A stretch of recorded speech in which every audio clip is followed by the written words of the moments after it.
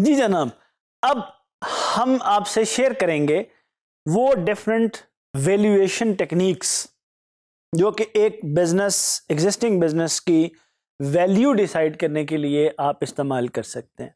बहुत सारी टेक्निक्स होती हैं, हो सकती हैं।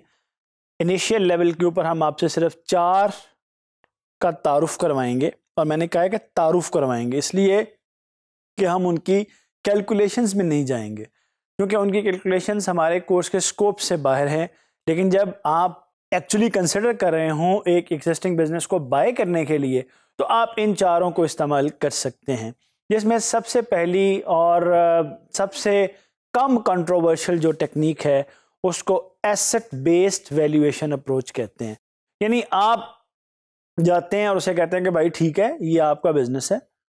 इसकी वैल्यूएशन ऐसे होगी कि आप जितने भी आपके एसेट्स हैं, उनको आप, उनकी लिस्ट हमें दे दें।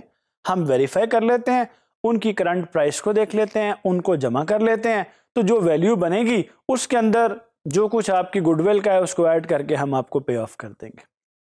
ये मेथड बहुत ज़्यादा बायर फ्रेंडली है। बायर फ्रेंडली मीन जो बाय कर रहा है एग्जिस्टिंग बिज़नेस क्योंकि ये बहुत फेयर है। इसमें आपने एसेट्स खरीदने हैं और उनकी जो करंट वैल्यू है उस पर ख़रीदने लेकिन आम तौर पर जो सेलर्स होते हैं, वो इसके ऊपर उस तरह से एग्री नहीं करते हैं, क्योंकि उन्हें मालूम है कि ये जो मेथड ऑफ़ वैल्यूएशन है, ये एसेट्स के वैल्यूएशन के लिए तो हो सकता है, लेकिन ये गोइंग कंसर्न या रनिंग बिज़नेस जो है, उसकी ज़रूरियात को या उसकी वैल्यूएशन को सही तरह से अकाउंट फॉर नहीं करता दूसरा जो मेथड आप इस्तेमाल कर सकते हैं उसको मार्केट बेस्ड वैल्यूएशन अप्रोच कहा जाता है। ये बड़ी मुश्किल है। थ्रेटिकली बहुत आसान है, लेकिन है मुश्किल। अच्छा उसकी रीज़न ये है क्या? ये है, ये मार्केट बेस्ड का मतलब ये है कि आप ये देखें कि सिमिलर टाइप का सिमिलर साइज़ का सिमिलर सिचुएशन में अगर कोई बिज़नेस दाएँ बाएँ बिका है तो वो कहाँ कितने में बिका है?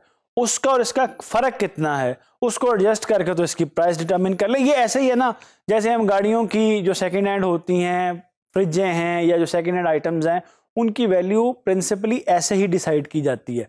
कि जी, उनकी लाइक अगर जो आइटम्स जितने में बिक रही हैं, आप उसके करीब करीब उसको ख़रीद या फ़रोख्त कर लेते हैं।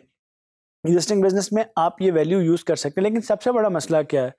मसला ये है कि आपके पास इतने प्रोफेशनल मैच मेकर्स कम अज़ कम पाकिस्तान में नहीं है, जहाँ पर कारोबारों की खरीदो फरोख्त का डाटा शेयर होता हो क्योंकि ये इतनी अच्छी बात भी नहीं है। वजह यह कि एक कारोबार बिक गया, उसकी अगर आपने तशहर कर दी तो कस्टमर्स पैनिक हो जाएँगे उसके। लिहाजा ये बहुत मुश्किल है। मेथड सजेस्टिंग तो बहुत आसान है, लेकिन इसकी इम्प्लीमेंटेशन बड़ी मुश्किल है।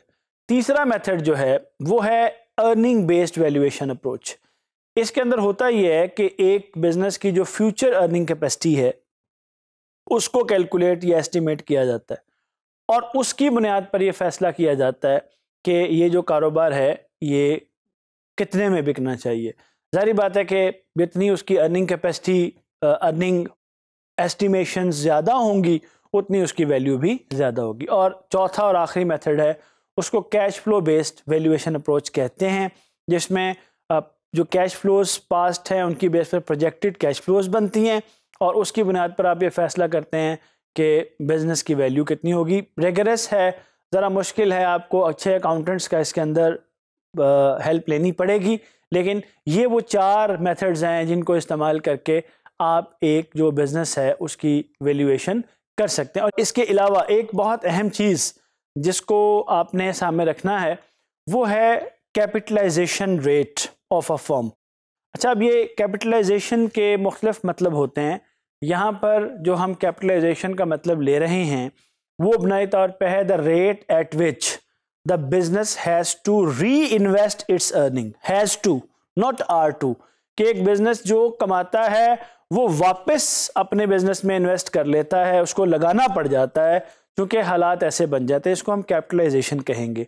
और एक फॉर्म जो होता है उसकी वैल्यू उसके कैपिटलाइजेशन रेट पे डिपेंड करती है।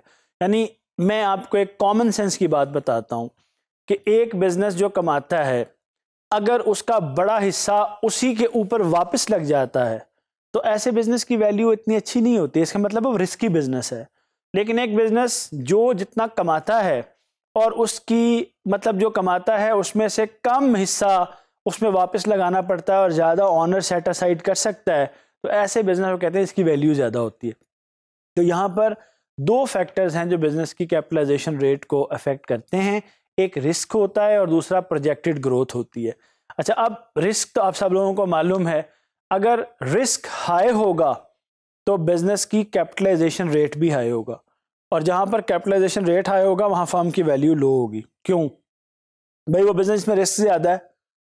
उसमें उसकी अर्निंग को री इन्वेस्ट भी ज़्यादा करना पड़ेगा।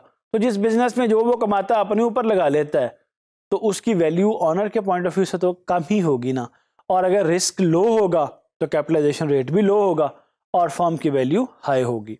अच्छा इस तरह दूसरा फैक्टर है ग्रोथ प्रोजेक्टेड ग्रोथ अगर एक बिज़नेस की प्रोजेक्टेड ग्रोथ हाई है तो उसकी कैपिटलाइजेशन रेट लो होगा और उसकी वैल्यू हाई होगी।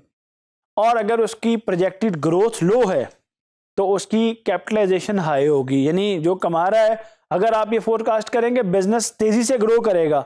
अर्निंग ज़्यादा होगी, लगाना कम पड़ेगा तो वैल्यू ज़्यादा होगी। अगर अर्निंग आपकी प्रोजेक्टेड अर्निंग कम होगी और लगाना ज़्यादा पड़ेगा तो फर्म की वैल्यू कम होगी। तो इन क्वांटिटेटिव टर्म्स में आप यूज़ करके इनको ये जज कर सकते हैं कि एक जो बिज़नेस है, उसकी वैल्यू क्या है और आपको इसको किस पे खरीदना चाहिए। Thank you very much